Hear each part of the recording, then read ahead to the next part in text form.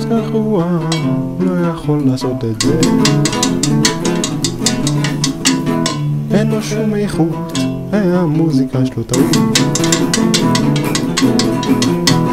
והקצב שלו שם מסריח כי הוא לא מכוון חרוזים זה כיף אבל אני מתחיל קצת לעצבן נגמר כי אין לי כוח יותר